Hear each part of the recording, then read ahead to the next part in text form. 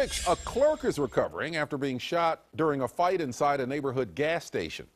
Police say there was some kind of disturbance around 3:30 this morning at the 76 station on Northeast 102nd Avenue.